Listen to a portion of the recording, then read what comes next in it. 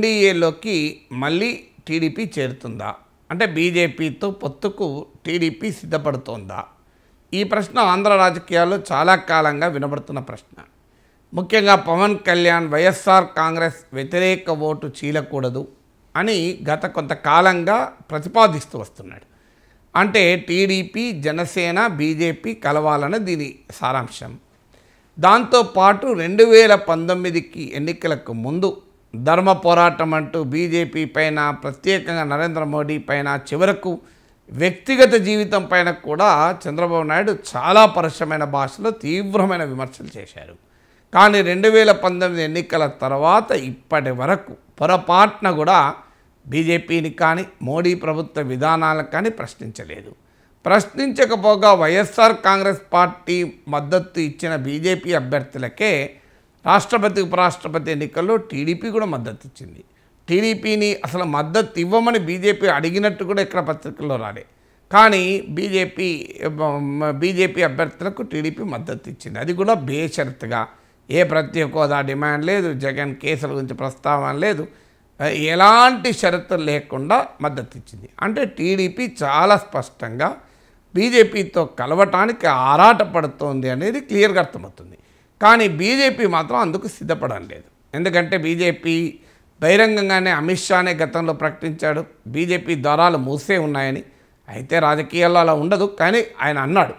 సోమ్ వీర్రాజు బహిరంగంగా చెప్తున్నాడు తెలుగుదేశం వైసీపీలకు మేము సమదూరంగా ఉంటామని.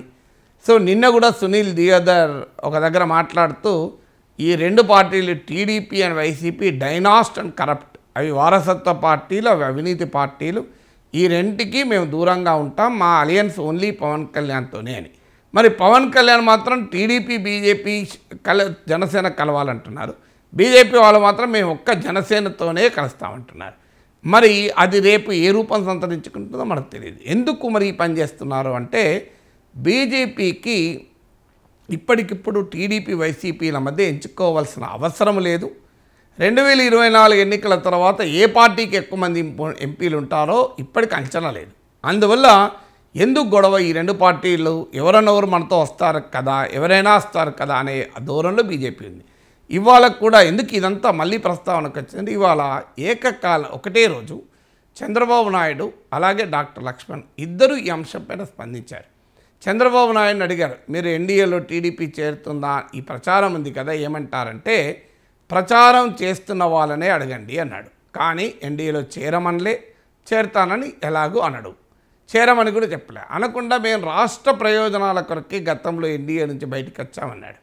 సో రాష్ట్ర ప్రయోజనాల కొరకే మళ్ళీ అవసరం వస్తే ఎన్డీఏలోకి వెళ్తామని దాని మీనింగ్. సో ఏదైనా రాష్ట్ర ప్రయోజనాల కొరకే అన్న ముసుగుతో రాజకీయ వ్యూహాలు రచిస్తారు. అది చంద్రబాబు నాయుడు అయినా కేసీఆర్ అయినా. కేసీఆర్ రేపు మళ్ళీ ఇప్పుడు బీజేపీతో ఇంత పోరాడుతున్నాడు. రేపు మళ్ళీ కలు కలిసి కలవాల్సిన పరిస్థితి వచ్చి కలుస్తాడు. అప్పుడు ఏమంటా ఏమంటాడు అంటే ఇదే మాట చెప్తారు అప్పుడైనా. మేము తెలంగాణ ప్రయోజనాల కొరకు గొంగలి పురుగునైనా ముద్దు పెట్టుకుంటాం.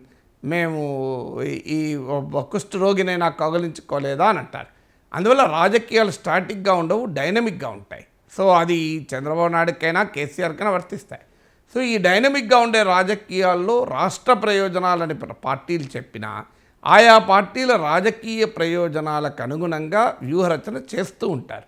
అందుకే చంద్రబాబు నాయుడు తెలివిగా అటు ఇటు కాకుండా ప్రచారం చేసేవారు అడగండి అన్నాడు. ప్రచారం దాంతోపాటు ఇక బీజేపీ పార్లమెంటరీ బోర్డు సభ్యుడు బీజేపీ అధ్యక్షుడైన డాక్టర్ లక్ష్మణ్ను కూడా అడిగారు. ఇదే ప్రశ్న. అడిగితే ఆయన కూడా ఏమన్నాడు? ఇది ప్రచారమే సందర్భం వచ్చినప్పుడు మీకు చెప్తానన్నాడు కానీ ఎట్టి పరిస్థితుల్లో టీడీపీతో కలవమనం లేదు.